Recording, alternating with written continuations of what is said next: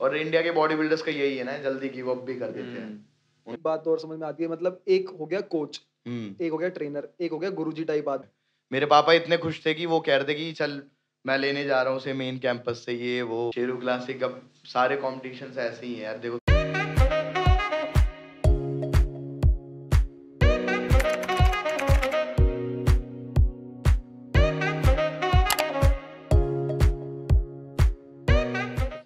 Welcome back to our show Rambaan the talk show तो आज हमारे साथ हैं बहुत ही स्पेशल गेस्ट जो बहुत ही अच्छे बॉडी बिल्डर हैं इंडिया में बहुत ही अभी आगे बढ़ रहे हैं। लास्ट मिस्टर एशिया के कंपटीशन में खेले थे भाई सचिन कुमार जी।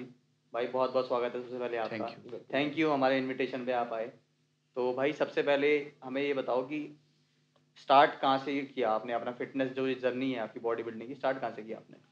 स्टार्ट बेसिकली जब मेरा कॉलेज स्टार्ट हुआ था तब से ही मैंने मतलब वर्कआउट करना ये सब चीज़ें स्टार्ट की 2015 में। 15 में? हाँ तो हुआ ये था पहले क्रिकेट खेलता था। हम्म, कॉलेज जाने लगा फिर उसके बाद टाइम नहीं था कि शाम को आओ फिर क्रिकेट खेलने जाओ। हम्म। तो वही था कि किसी ना किसी एक्टिविटी में जाना था साथ हाँ। में। तो फिर इसीलिए मैंने फिर जिम स्टार्ट करी वर्कआउट करना स्टार्ट किया। फिर फिटनेस का शौक तो शुरू से ही था हम्म। कि एक अच्छी फिजिक हो अच्छा लगता सबको ही है। दिखने में अच्छा हाँ, लगे दिखने में अच्छा लगे पतले तो थे ही यार। हाँ। तो थोड़ा सा ये साइज़ भी गेन हो जाए। हम्म, तो वही इसीलिए स्टार्ट किया था सब चीज़ें। अच्छा। तो भाई कब फिर आपने सोचा कि इसको शौक को प्रोफेशन में कन्वर्ट कर लेते हैं? प्रोफेशन में मतलब कन्वर्ट करने का मतलब मेरे को जो आइडिया आया था वो मैंने मतलब दो साल तक गेन किया था। 2015 में स्टार्ट किया था। 2017 तक मैंने बस गेन पे ही था मैं। कुछ देखना नहीं कैसा जा रहा हूँ क्या जा रहा हूँ बस खाना था जिम जाना था वर्कआउट करना था और अपने डेली का वही शेड्यूल था। फिर आई पी यूनिवर्सिटी में कॉम्पिटिशन्स होते हैं। एनुअल स्पोर्ट्स मीट होते हैं उसमें एक, एक मतलब कैटेगरी होती है बेस्ट फिजिक हम्म, ठीक है? तो बेस्ट फिजिक में फिर मेरा प्लान बना गया चल ठीक है अब इतने दिन मेहनत करी है तो स्टेज पे भी चढ़ के देखते हैं। तो फिर उसके लिए फिर मैंने स्ट्रेटिंग स्टार्ट करी थी। तो वही था मेरा पहला कंपटीशन था तो दिमाग में यही था कि चल ठीक है स्टेज पे चढ़ जाऊँगा। पहली बार में अगर अपनी कैटेगरी में सेकंड थर्ड आ जाता हूँ बहुत बड़ी बात होगी मेरे लिए। गया वहाँ पे सेकंड थर्ड नहीं अपनी कैटेगरी में भी जीता। फिर उसके बाद जब चैंपियन ऑफ़ चैंपियन हुआ ओवरऑल उसमें भी फिर जीता मैं। तो फिर मतलब थोड़ा सा बूस्ट मिला पहले कंपटीशन में दोनों हाँ, जीत गए फिर थोड़ा बूस्ट मिला कि चल ठीक है यार हम्म। अच्छा लग रहा है इसमें करने में मज़ा आ रहा है। बहुत कम लोगों को मतलब भाई ऐसा होता है कि फ़र्स्ट कंपटीशन के अंदर ही गोल्ड आ जाए मतलब हाँ कॉलेज के लिए पहला गोल्ड था। तो एक वो होता है ना लोग जानने लग जाते हैं आपको कि यार ये लड़का था भाई इसने इसने हाँ, कॉलेज के लिए किया है। कॉलेज के लिए डीन ने बुलाया डीन ने मतलब थोड़ी तारीफ़ कर दी यहाँ से तारीफ़ मिल गई। टीचर्स जानने लग रहे हैं आपको। तो भाई इसके बाद तो मतलब जैसे आपकी मतलब गोल्ड आने के बाद तो घर वाले आपको थोड़ा सपोर्ट करने लग गए होंगे। घर वाले शुरू से ही सपोर्टिव थे। शुरू से सपोर्टिव थे। क्योंकि भाई आजकल मतलब जैसे घर वाले ज़्यादातर अलाउड नहीं करते कि सप्लीमेंट्स नहीं खाने ये नहीं। तो उससे आपने कैसे मतलब बात ये थी? स्टार्टिंग में तो देखो किसी के घर वाले नहीं करते हाँ। ठीक है। स्टार्टिंग में मेरा ये था कि पतला था तो स्टार्ट मैंने किया था गेनर लिया था ठीक है। उस समय गेनर ही था भाई कि हाँ अगर आपको मसल मास बढ़ाना है गेनर स्टार्ट कर लो। तो गेनर लिया था वो जिम में रखता था, ठीक है, एक डब्बे में छुपा के, किसी को पता भी नहीं होता था। वहाँ पे छुपा के रखता था जिम में गया, वहीं पे पिया और घर, ठीक है। सप्लीमेंट नहीं बोलूँगा, पहले घर वालों को ये लगता था कि यार चल ठीक है सिगरेट नहीं पी रहा, दारू नहीं पी रहा, ठीक है, गलत काम नहीं कर रहा, खाने पे ध्यान दे रहा है अपने शरीर पे ध्यान दे रहा है ठीक है चल कोई दिक्कत नहीं है। स्टार्ट वहाँ से हुई थी। फिर धीरे धीरे लगा कि जैसे अब आईपी यूनिवर्सिटी का जीता तो जब घर वालों को लगता है ना यार, लड़का इतना मतलब गया और कंपटीशन जीता, ठीक है 88 कॉलेजेस थे आईपी यूनिवर्सिटी में, उसमें अकेला जीत कर आया तो घर वालों को भी अच्छा लगता है। मेरे पापा इतने खुश थे कि वो कह रहे थे कि चल, मैं लेने जा रहा हूँ उसे मेन कैंपस से, ये, वो मतलब बहुत खुश थे। बात और समझ में आती है मतलब एक हो गया कोच एक हो गया ट्रेनर एक हो गया गुरुजी टाइप आदमी हाँ। जो आपको मतलब कुछ दवाई दे रहे हैं कुछ दे रहे हैं उसके ऊपर से स्लिप भी हटा के दे रहे हैं। पूरी पूरी। आप उनसे ले भी रहे हो सामान उनके पैर भी छू रहे हो। हाँ, तो हाँ। उन चीज़ों से आदमी कैसे चेंज करे अपने आप को भाई? यार मेरे साथ मतलब कुछ कुछ इंसिडेंट्स थे जिसके बाद मैंने ये सब चीज़ें छोड़ दी मतलब करना। पहला था शेरू क्लासिक में ही। हम्म। शेरू क्लासिक में ये हुआ था कि अ, उस समय रजिस्ट्रेशन चार्जेस थे इलेवन थाउज़ेंड ठीक है? उसमें टैनिंग वगैरह सब उन, वो प्रोवाइड करने वाले थे, सब कुछ उनका था। तो मैं पहुँचा खेलने के लिए। अब भाई, मेरे को पता था कि यार वहाँ पे टैनिंग होनी है तो मैं अपनी तरफ़ से कुछ लेके नहीं गया था। ठीक है, मैं गया, अपने फैमिली के साथ गया, मम्मी पापा को लेकर गया, साथ में बहन थी, एक अंकल थे, उनके साथ गया। तो मेरा ये था कि मेरी कैटेगरी बाद में आने वाली थी। तो जो उस समय मेरे कोच थे, आपको पता है कौन थे उस समय तो उनका ये था कि मैं आ जाऊँगा तू अपना जा पहुँच हम्म, आराम से आ जाऊँगा मैं। ठीक है? एक दोस्त था जो मेरे को अभी ट्रेन कर रहा था गौरव। हम्म, उसने भी बोला कि मैं नहीं मना किया मैंने कहा आराम से आना तुम कोई दिक्कत नहीं अपना वर्कआउट वगैरह कर लो। तुम हम्म, तो आराम से आ जाना कोई दिक्कत नहीं है। हम्म, क्योंकि मेरी कैटेगरी पहले वुमेन्स बिकनी स्टार्ट होनी थी। हम्म, उसके बाद एक कैटेगरी और थी फिर क्लासिक फिजिक थी। अब वहाँ पे क्या हुआ शेरू क्लासिक में एकदम से सारी चीज़ें स्टार्ट कर दी। ठीक है? टैनिंग उन्होंने प्रोवाइड नहीं करवाई मैं बिना टैनिंग के स्टेज पे चढ़ा हुआ था। ठीक है? अब बिना टैनिंग के स्टेज पे चढ़ा हुआ था मैं बस किसके लिए चढ़ा था? अपनी फैमिली के लिए चढ़ा था। कि यार मेरे पापा मेरे को लेकर आए हैं मैं स्टेज पे नहीं चढ़ूँगा तो उन्हें ज़्यादा बुरा लगेगा। हम्म, तो स्टेज पे बस चढ़ के मैंने और जजेस की भी आँखों में नहीं देखा कि क्या चल रहा है क्या नहीं चल रहा। दूर मेरे पापा खड़े थे मैं उनकी नज़रों में देख रहा था कि हाँ भाई वो खुश है मेरे को देख के।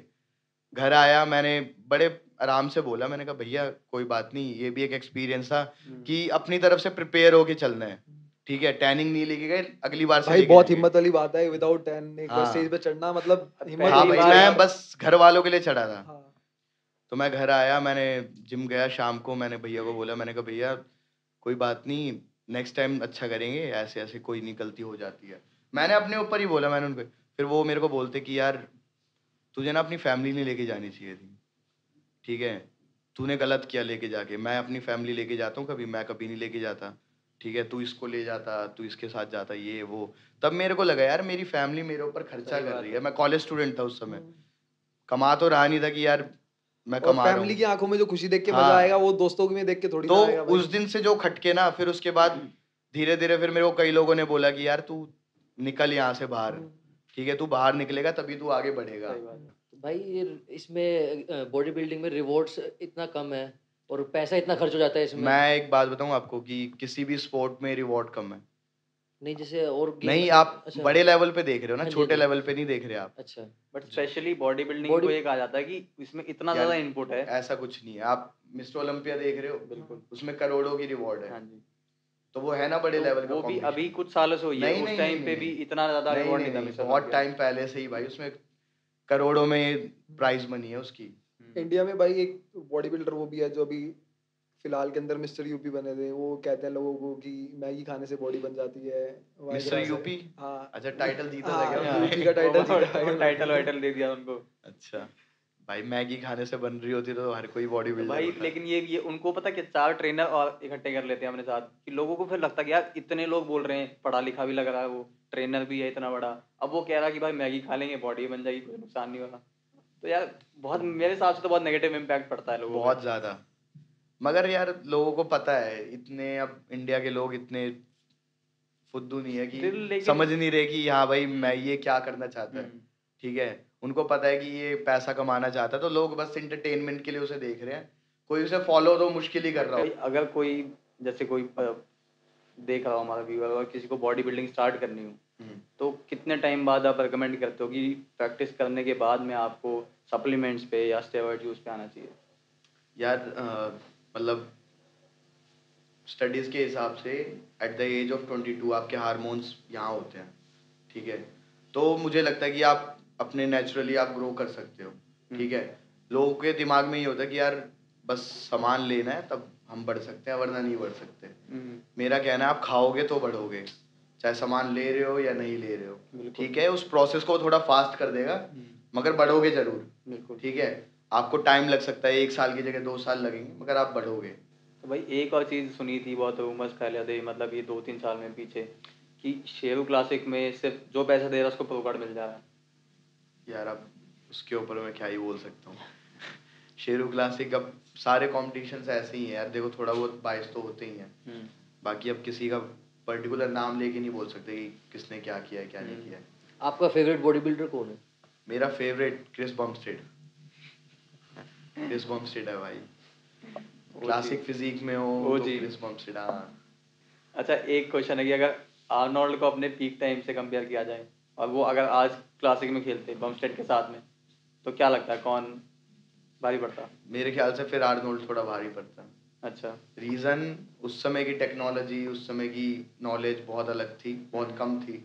और आज की टेक्नोलॉजी नॉलेज बहुत अलग है। उस समय उन्होंने जेनेटिक्स पे उतना खेल लिया तो मेरे ख्याल से आज के टाइम पे तो वो फाड़ देते भाई। तो भाई आपको बॉडी बिल्डिंग के अंदर कभी ऐसा हुआ हो कि गर्लफ्रेंड या फ्रेंड कुछ ऐसे मतलब डिस्ट्रैक्ट कर रही हो? कभी ऐसा होता है? कि मतलब उसकी वजह से जिम नहीं जा पा रहे मतलब कुछ नहीं मैं अलग- मैंने बोला ना भाई मैं यार एक जगह फोकस हूँ। मेरा लड़कियों मतलब लड़कियों से तो मेरी बातचीत शुरू से ही कम थी मगर बात होती भी है ना तो मेरा भाई मेरे सेट है कि भाई मेरे को क्या करना है। एक टाइम पे एक चीज़। हाँ एक टाइम पे एक चीज़ नहीं मतलब यार देखो आप नॉर्मली भी देखोगे ना तो आजकल के टाइम पे अगर गर्लफ्रेंड है आपके साथ तो आपको उनको भी टाइम देना है यार नॉर्मल सी बात है। टाइम नहीं दोगे तो वो नहीं रहेंगी आपके पास। या कोई भी है, ठीक है? मगर अगर आप बॉडी बिल्डिंग जो है ना यार, आप ये नहीं है कि आप दो घंटे जिम में गए और बस हो गया। बॉडी बिल्डिंग दिन भर का, पूरे साल का खेल है ये। ट्वेंटी फोर इंटू सेवन और इंटू थ्री सिक्सटी फाइव आपको बस करते ही रहना है। अपना खाना आपको बनाना है, खाना खाना भी है ठीक है नींद भी पूरी चाहिए सब कुछ चाहिए। अब अगर मेरी गर्लफ्रेंड हो तो रात को भाई सोने के टाइम पे मैं बातें कर रहा हूँ। तो वो चीज़ें नहीं हो सकती ना फिर मेरी नींद पूरी नहीं होगी। फिर वही दिक्कत होती है। तो थोड़ा दूर ही रहता हूँ मैं इन सब एक से। भाई आप लास्ट में क्या मैसेज देना चाहोगे? कुछ इस टाइप का? कि जो बंदे आजकल स्टार्टिंग में जाते ही रिकमेंड कर देते हैं ट्रेनर्स की ये सप्लीमेंट ले ले भाई तभी कुछ कर पाएगा। तो इंसान स्टार्टिंग में जो जिसको बॉडी बिल्डिंग की नॉलेज ही नहीं है वर्कआउट की भी नॉलेज नहीं है उसको आप जाते ही कह दोगे कि कोई सीनियर आदमी उसको बोल दे कि खाएगा तो ही होगा। तो आदमी के मन में एक बात बैठ जाती है। हम्म, वो बंदा फिर सोचता है कि मेरे को अभी अरेंज करने हैं कहीं ना कहीं से ये सप्लीमेंट लेकर आना है कैसे लेकर आऊँ? तो फिर उसको आप क्या मैसेज देना चाहोगे उन बच्चों को आज जो स्टार्टिंग कर रहे हैं? यार देखो अगर जो भी स्टार्टिंग कर रहे हैं, मेरा मान, मैंने जैसे अभी पहले ही बताया कि ट्वेंटी टू की एज तक आप इतने अच्छे लेवल पे होते हैं ना अपने की आपके हारमोन्स बूस्ट हो चुके बूस्ट हो रहे होते हैं। अभी उस लेवल पे होते हैं कि आप नेचुरली बहुत अच्छा कर सकते हो। बस मेरा कहना ये है, आप खाना अच्छा रखो, ठीक है वर्कआउट अच्छा करो, ठीक है। शुरू में अपने बेसिक्स पे ध्यान दो।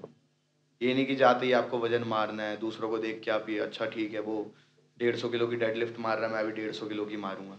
ठीक है? जाते ही आप नहीं मार सकते। पहले अपनी बेसिक पे काम करो। बेसिक पे काम करने के बाद आप कर सकते हो जो भी आपको वेट लिफ्ट करना है, फिर प्रोग्रेशन देते रहो। ये ऐसा नहीं है ना कि आप एक दो महीने गए, उसके बाद आपने छोड़ दिया। ये तो भाई आपको लाइफस्टाइल में लेके आना पड़ेगा। मैं ये नहीं कह रहा बस जिम आप योगा भी कर रहे हो तो योगा को भी लाइफस्टाइल में लेकर आओ। ठीक है, दिन भर में एक घंटे वॉक के लिए जा रहे हो तो वो भी अपने लाइफस्टाइल में लेकर आओ। एक भाई, ये मतलब कहते हैं लोग कि जब भी बंदा स्टीरॉयड या साइकिल पे यूज़ में होता है तो वो इरिटेट रहता है। वो थोड़ा मतलब मूड कभी भी स्विंग हो जाता है उसका। ये बात जेन्युइन है क्योंकि आपको इस चीज़ की नॉलेज ज़्यादा होगी। हो होता तो है। देखो उसके दो तीन रीजंस होते हैं। हम्म, पहला रीजन स्टेरॉइड तो है ही एग्रेसिव थोड़ा साइकोलॉजिकल होता है फ़र्क आता है। मगर साथ साथ में आप डाइट पे होते हो ठीक है? तो आदमी सबसे ज़्यादा गुस्सा जब होता है ना जब उसे भूख लगती है। हम्म, ठीक है? तो आप जब साइकिल पे हो स्ट्रेडिंग पर हो गेनिंग में गुस्सा क्यों नहीं आता? गेनिंग पे भी तो साइकिल पे होते हो। हम्म, मगर गेनिंग में क्यों नहीं आता है उस समय बढ़िया खा रहे होते हो दबके तुम्हें उतना कुछ फ़र्क नहीं पड़ता ठीक है? मगर स्ट्रेडिंग में इसलिए होते हो क्योंकि भूख लग रही होती है और तुम अपनी मनपसंद चीज़ नहीं खा सकते। अब मैं ही था मेरे को घर का खाना बहुत पसंद है। हम्म, मगर मैं नहीं खा सकता रोटी सब्ज़ी घर की। हम्म, ठीक है मैं वही चावल चिकन चल रहे हैं उबले हुए ठीक है? तो गुस्सा वहाँ पे आता है कि यार मतलब छोटी छोटी चीज़ों से फिर गुस्सा आना स्टार्ट हो जाता है। और गुस्सा तो यार देखो हर किसी को आता है। ये तो बस एक बोलने वाली बात है कि हम्म, मुझे गुस्सा on नहीं cycle हो। बल्कि मेरा मानना ये है कि अगर कोई रियल बॉडी बिल्डर होगा ना वो अपने गुस्से को डाउन करके चलेगा। क्यों? क्योंकि उसको पता होगा कि अगर मैं गलत जगह अगर गुस्सा कर गया ना तो वो मेरे लिए नुकसान होगा। अगर मेरी लड़ाई हो जाती है किसी से ठीक है मेरे को इंजरी हो जाती है तो वो मेरे लिए नुकसान होगा। तो बॉडी बिल्डर जो होगा वो अपने शरीर से अगर प्यार करता होगा तो वो गुस्से को शांत रख के सबसे प्यार से रहेगा। बेशक से बोलना कम कर देगा मगर शांति रहेगा। चलो भाई बहुत बढ़िया। एक चीज़ और भाई मुझे पूछना है क्या लगता है कि मतलब कोई आने वाले दो तीन साल में कोई ओलंपिया में कुछ कर पाएगा? यार देखो इंडियन बॉडी बिल्डर्स भाई अब छा रहे हैं बढ़िया कर रहे हैं बहुत। और बहुत सारे एथलीट्स हैं जो कर सकते हैं। ठीक है जीतना एक अलग चीज़ हो जाती है। जीतना तो देखो यार टॉप बॉडी बिल्डर्स का भी पता नहीं होता। बिल्कुल।